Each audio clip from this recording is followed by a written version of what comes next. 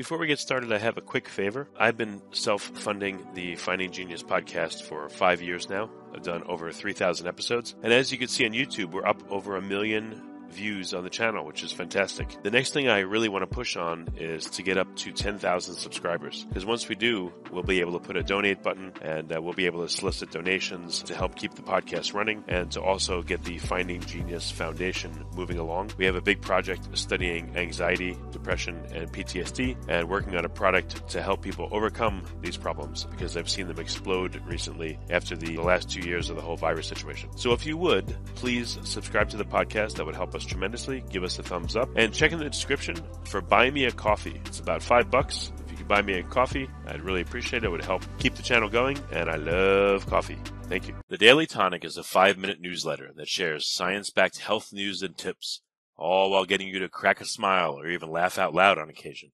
It's a daily morning newsletter started by wellness lovers for wellness lovers that covers everything from diet and exercise to morning routines and sleep aids.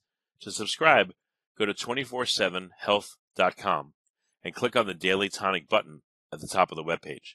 When you go to 247health.com to subscribe to the Daily Tonic newsletter, be sure to check out their product reviews and special recipes.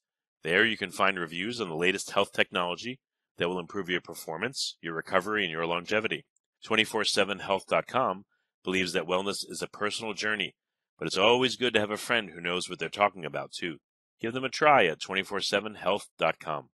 Did you know many of 247health.com's favorite products, like avocado oil mayonnaise, hydrating ketone water, skin revitalizing red light lamps, all are featured on the Daily Tonic with discount codes? If you see a cool new product on the website, there's probably a special link on the Daily Tonic. Plus, the Daily Tonic also features new wellness products with special discounts every single day. To subscribe, go to 247health.com and click on the Daily Tonic button at the top of the webpage.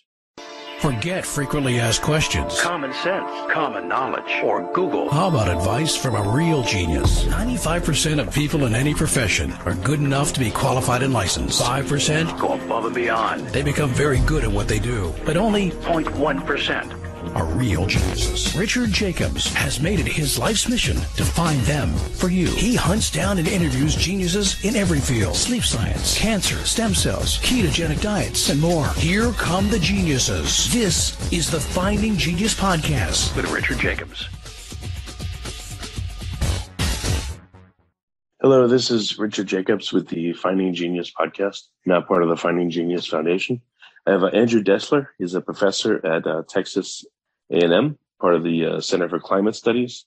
He holds a uh, Reta A. Haynes Chair in Geosciences, and we're going to talk about his work. So, Andrew, thanks for coming. How you doing? Doing good. Thanks for having me. If you would tell me about your your current work and uh, maybe a bit about your history, how you got into this position.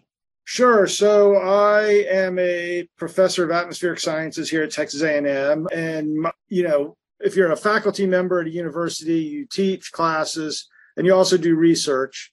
And uh, most of my research is on climate change.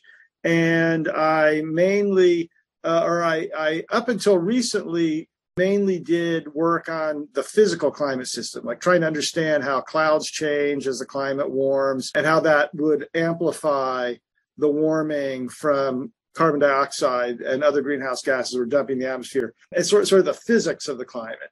Um, and I've, I've recently changed to focus more on the impacts of the climate, how climate change is going to affect humans, because I think we understand the physics of the climate system well enough. We know what we're doing to the climate system. Now, the real question is how are humans going to react to it and how is it going to affect humanity? And so, what are you modeling now? Are you still modeling the climate itself, or what? Uh, you know, what does your research look like? Oh, right. So I've got a couple different projects going right now. Um, in one project, we're trying to estimate how many people die from extreme heat. And we're doing this statistically by looking at basically death records. So we keep pretty good records of people, of the number of people who die every day. And then we correlate that with temperature. And sure enough, we see that as temperatures go up, more people die. And so we can quantify uh, we want to quantify that and then use that to predict what's going to happen in the future as we continue to warm the planet. Uh, you know, how many deaths is that going to cause? And is it possible for humans to adapt to that warmer temperature? So we also look at that. On another project, we're looking at the energy grid, particularly the Texas energy grid. I live in Texas, so I'm interested in the Texas grid. Plus, the Texas grid is unique because it's its own island. It's not connected to the national grids. So it's, it's a little bit easier to analyze the data. And we find is that as the climate warms, people are spending a lot more energy on electricity because they've got to cool their house. And as the demand goes up, the price of energy goes up. So uh, looking at, at what's effectively a climate tax that everybody is paying in the form of higher electricity costs. Are you looking at uh, also what about cold? You know, just about two years ago in Texas, it was freezing here for a week and a half. Power was out, all that stuff. Are you looking at uh, cold deaths and, and the effect of cold as well, or just heat? Yeah, so we we look at deaths in both the the hot season and the cold season, and as you would expect, as the climate warms, you get fewer deaths uh, when the temperature is cold, and uh, that basically about matches the number of extra deaths you get from heat up until you get about two degrees of warming over the whole globe. So global average warming. And then when you get beyond that, the number of, of heat related deaths really starts to increase rapidly and you don't get that same rapid decrease in cold deaths so the, the, the lives lost due to extreme heat dominates and you end up with this net loss but uh, at least if for the next degree of warming that we're going to experience they base the, the, the lives saved from less cold basically cancels the extra lives lost due to heat but that's not going to happen forever as i said as the temperature gets even warmer, eventually the lives lost due to extreme heat will dominate. Yeah, from what I understand, there's uh, well over 10 times the amount of deaths from cold than it is from heat you know, as of now.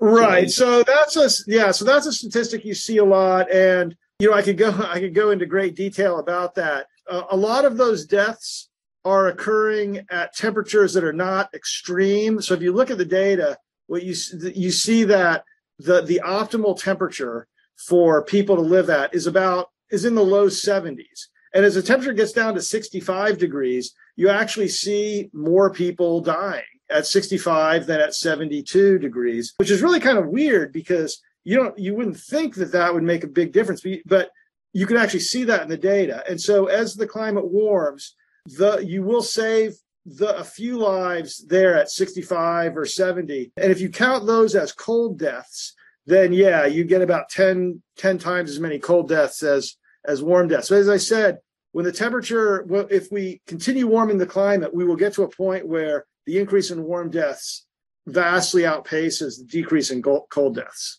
Right, that's what's modeled so far, right? But it hasn't happened. Uh, when do you think that uh, the two degree warming will be here?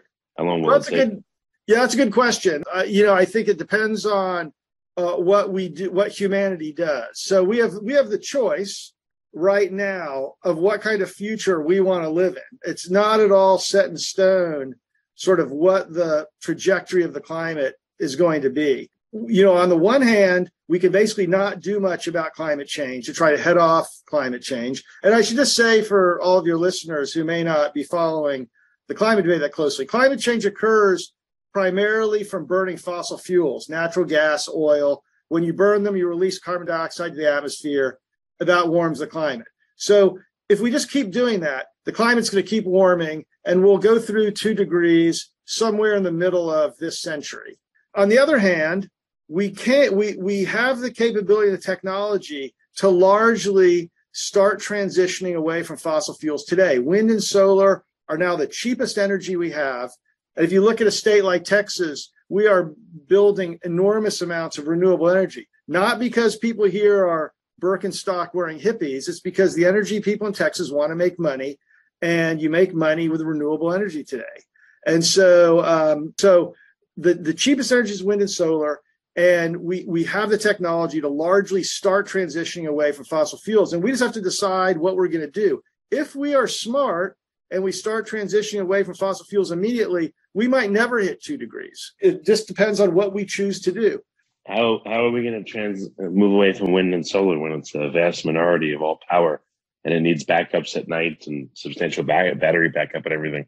Yeah, okay. So that's a great question. So let me explain to you one way the US could transition away from largely transition away from fossil fuels on our electric energy grid.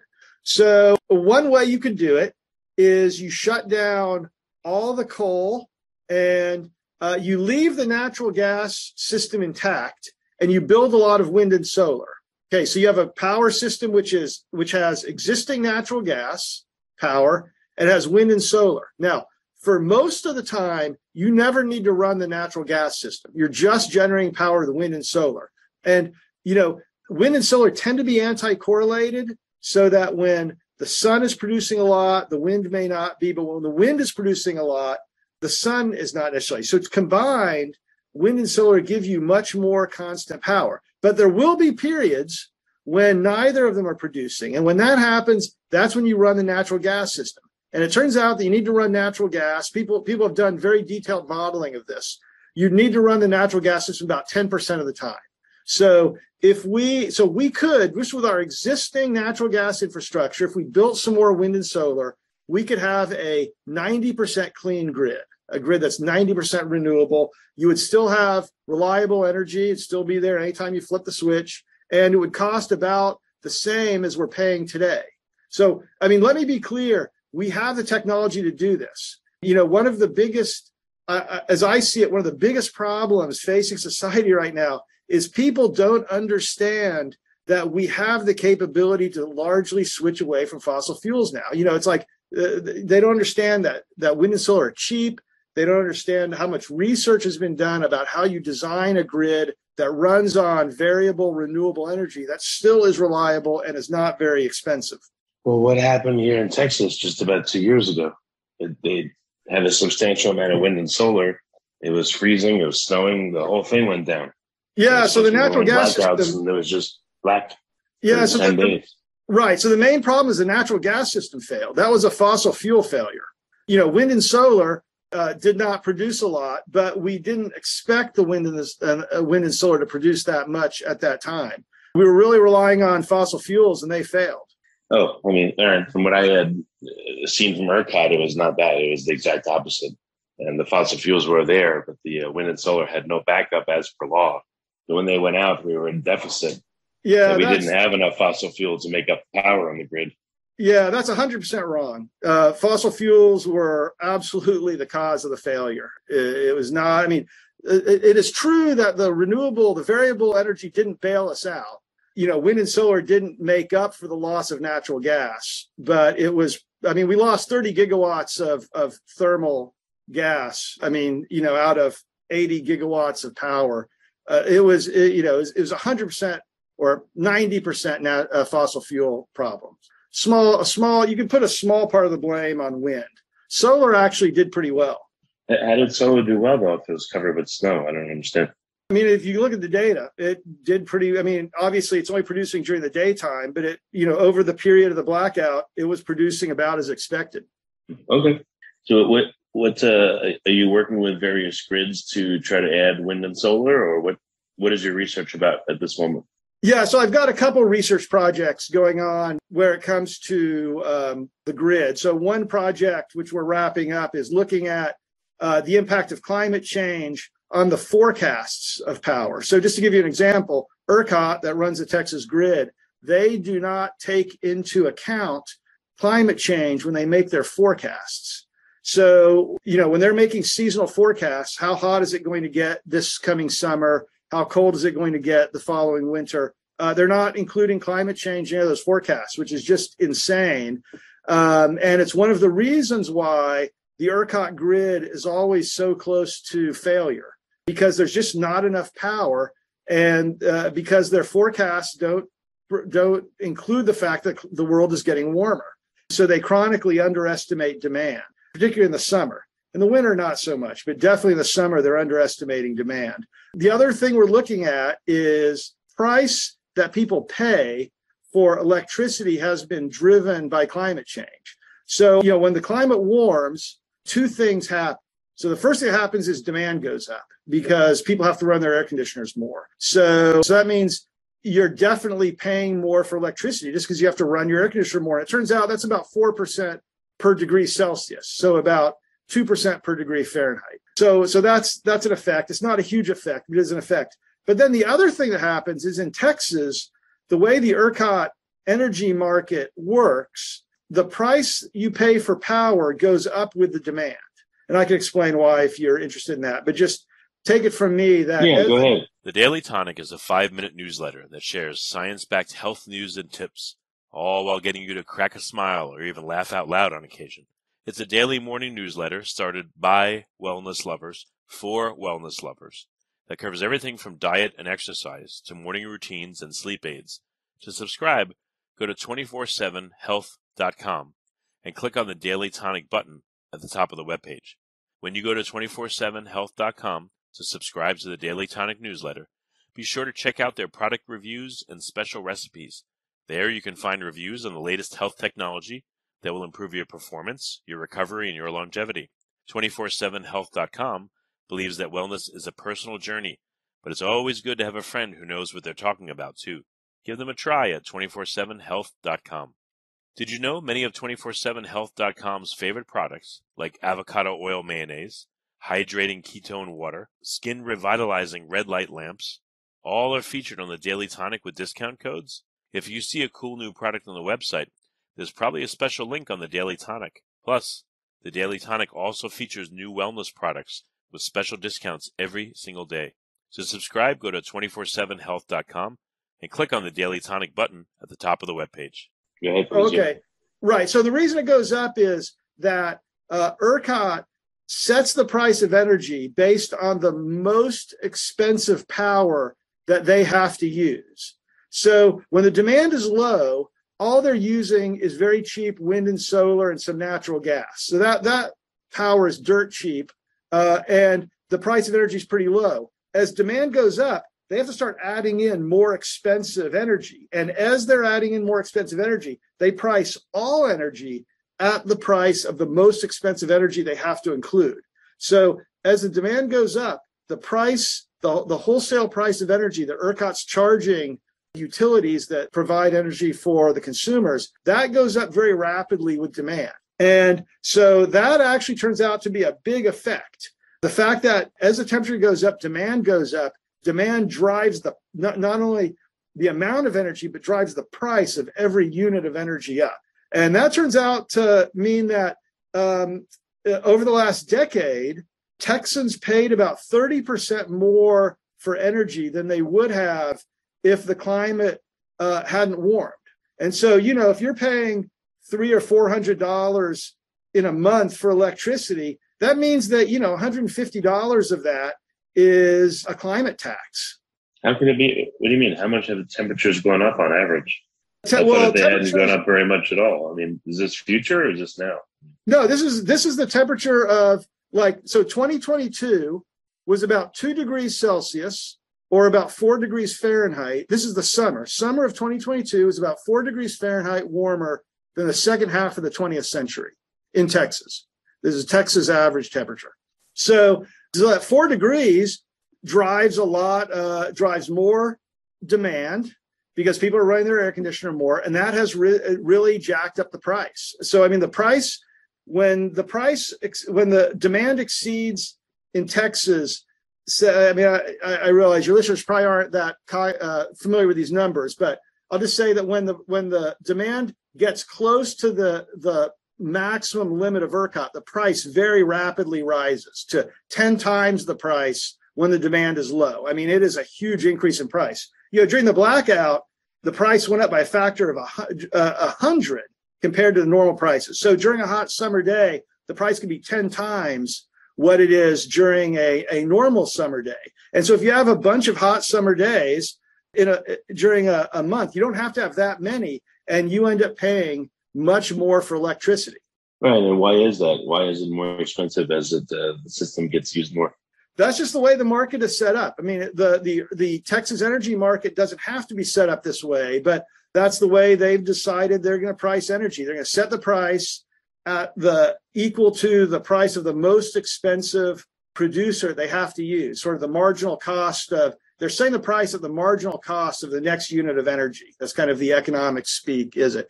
And they could do it a different way, but that's that's the way they've chosen to do it. So part of it, the increased demand, there's really nothing you can do about it. You know, as, as the temperature goes up, people are going to use more energy. You can't get a, you can't get around that. But the other part about how the about the increase in prices, that is something that could be solved with a different market design. But you know, that's not the market we have. Is it required to be that way, or is it is that just how Texas grid is priced? Is it all grids that are like that? I mean, I don't understand the basis for this. Why? Well, I mean, it has to be that way in the sense that that's the way the law was written. So Texas deregulated the energy market in the early 2000s, but the thing you have to understand is there's no such thing as a truly free market energy system because there have to be rules. You can't you can't just have a, a wild west like you know when it comes to like ballpoint pens, you can have everybody set the price whatever they want, and it doesn't really matter. But with with energy, energy's a public good, and it's it's it has to be delivered over a grid. So there have to be rules about how the grid is used and the price people pay. You, you really can't have a truly free market system. And so there have to be rules in the market. And the way that the Texas legislature set the rules, that's the way it works. You know, to be honest, I don't know that much about sort of across the whole US how many other systems do the same thing. But, you know, for example, California has a very similar market mechanism, although there are some differences in, in how the how the in the details of the market. But there are lots of places that or at least th- there are several other places that also set up this marginal cost pricing of, of energy for the grid. But it's a real it's a real problem, and it goes to show you that the impacts that climate change has on us is not just an impact of the climate change, but it's also impacted by the choices we that humans make. And it kind of emphasizes something which I think is important, which is that you know there are no truly natural disasters in the world. The disasters are, you know, when bad things happen because of of of the weather or because of climate, it's almost always a combination of something happening with the climate system or the weather system combined with the choices that humans make. So, you know, one example of this that's going on right now is um in you know, we have a hurricane heading towards Tampa Bay and you know, it may not hit it, but if it does, Tampa Bay is one of the most vulnerable cities for storm surge because of the shape of the bay.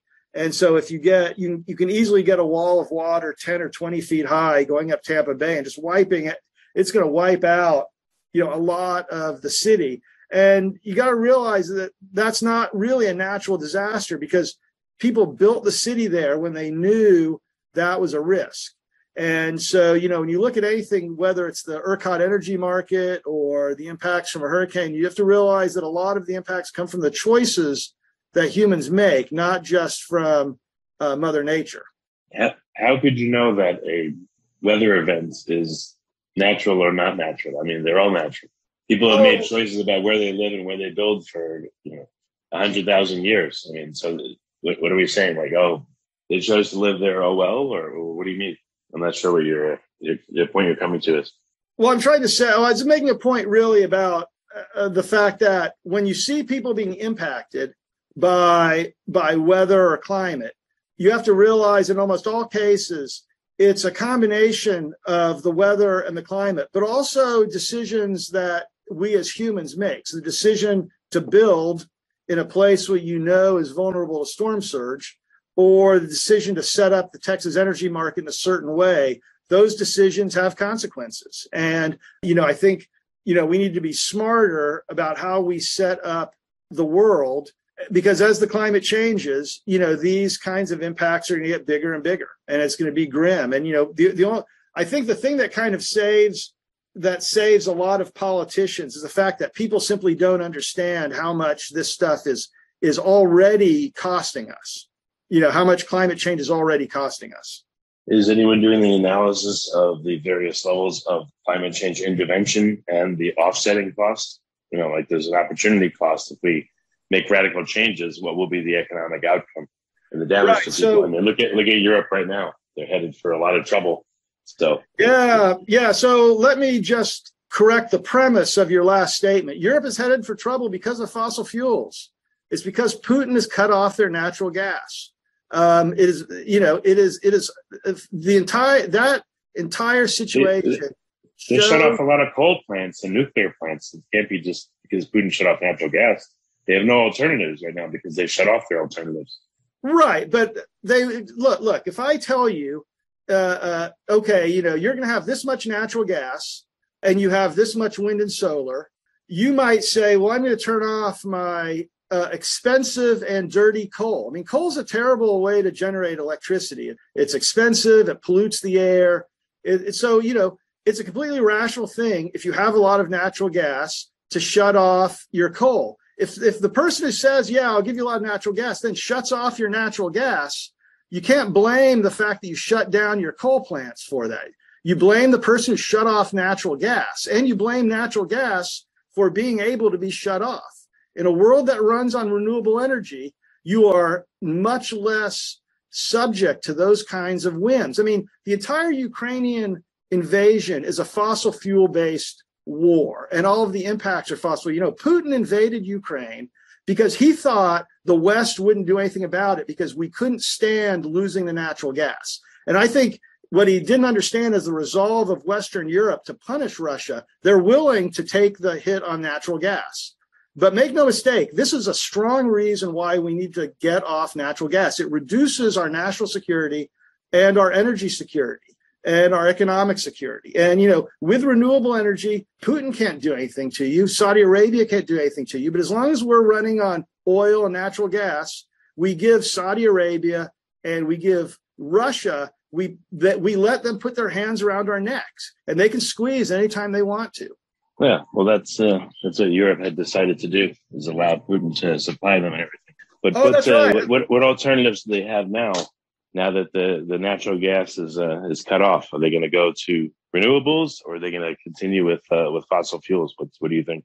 Well, that's a good question. Um, you know, I think if they had known this was going to happen ten years ago, um, you know, I think they would uh, they'd be they would have built out renewable energy and they wouldn't be in this situation. But you know, the problem is that there were people 10 years ago who were telling them you should let Russia build the pipeline because it's going to promote world peace. Because Russia, you know, if Russia is selling you natural gas, they're not going to do anything to make you mad.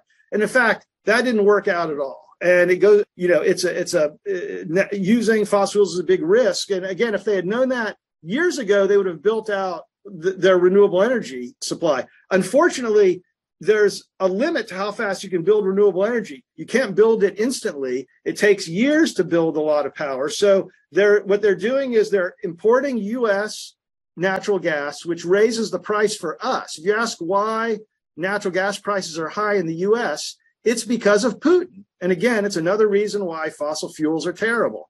And, and so they're importing natural gas from the US. They're also going to be very cold this winter. They're going to have to reduce their use of energy and it's going to be a lot of suffering. So, or not, maybe not suffering, suffering, but they're going to be cold and they're going to pay a lot for energy. And so they're, uh, and they are indeed trying to reopen.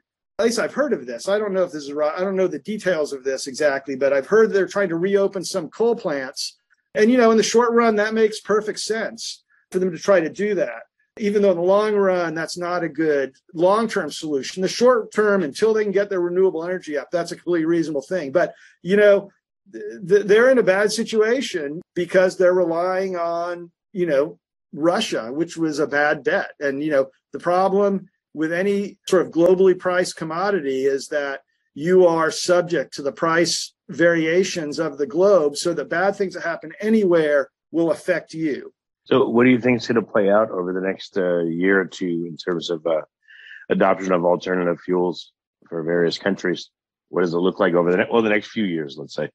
I think in Europe, the the Ukrainian invasion by Russia will turbocharge their move away from fossil fuels. I think this might be one of the big events in the world in our transition to alternative energy because they really understand the risks of relying on fossil fuels. In the US, uh, the U.S. is is transit. We are also transitioning, and you know uh, we just passed the Inflation Reduction Act, was signed into law by President Biden, and I think that is going to have a huge impact on the build out of clean energy, especially if we can get permitting reform through, which I realize is somewhat controversial on both sides of the political spectrum. But I think it's a good idea we need to be able to build we need to be able to build infrastructure in order to do the clean energy transition. And right now uh, building infrastructure is hard. Uh, uh, there are a lot of people who just don't want you to build anything. And you know you say we need to build some transmission lines. People just say no don't you can't build transmission lines uh, you know anywhere near me. And it's you know it's it's it's, it's just it's it's really hard to build a pipeline. It's hard to build transmission lines. It's hard to build a road people just don't want anything to be built. But to solve the climate problem, we have to build infrastructure. And so permitting reform is really key. If you get the transmission lines built, uh, private industry will build the energy because, as I said, wind and solar are the cheapest energy we have. So lots of people are happy to build it. It's just a, a question of getting the base infrastructure built. And I think that's going to really accelerate. And so I think, you know, we we are transitioning away from fossil fuels in the US right now. It's just a question of how fast we go. And, you know, the faster we go, the less climate change we'll have. And so we really need to move as fast as possible on this. Well, very good. Andrew, where can uh, people find out more about your work? How can they contact you or at least, you know, review your papers or see what you've uh, worked on or working on? Right. So if they if you Google me, Andrew Dessler, you can go to my faculty webpage. You can I have on there a link to all my publications. I would say people want to know what I'm thinking about, what I'm writing. Um, follow me on Twitter at Andrew Dessler, and uh, I always tweet out links to new papers and new analyses and things like that. Okay. Well, very good, Andrew. Thank you for coming on the podcast. I appreciate it. Thank you. It's been great to be here. The Daily Tonic is a five minute newsletter that shares science backed health news and tips, all while getting you to crack a smile or even laugh out loud on occasion. It's a daily morning newsletter started by wellness lovers for wellness lovers that covers everything from diet and exercise to morning routines and sleep aids. To subscribe, go to 247health.com and click on the Daily Tonic button at the top of the webpage. When you go to 247health.com, to subscribe to the Daily Tonic newsletter, be sure to check out their product reviews and special recipes. There you can find reviews on the latest health technology that will improve your performance, your recovery, and your longevity. 247health.com believes that wellness is a personal journey, but it's always good to have a friend who knows what they're talking about too. Give them a try at 247health.com. Did you know many of 247health.com's favorite products, like avocado oil mayonnaise, hydrating ketone water, skin revitalizing red light lamps. All are featured on the Daily Tonic with discount codes. If you see a cool new product on the website, there's probably a special link on the Daily Tonic. Plus, the Daily Tonic also features new wellness products with special discounts every single day. To subscribe, go to 247health.com and click on the Daily Tonic button at the top of the webpage. You've been listening to the Finding Genius podcast with Richard Jacobs. If you like what you hear, be sure to review and subscribe to the Finding Genius podcast on iTunes or wherever you listen to podcasts. And want to be smarter than everybody else? Become a premium member at findinggeniuspodcast.com. This podcast is for information only. No advice of any kind is being given. Any action you take or don't take as a result of listening is your sole responsibility. Consult professionals when advice is needed.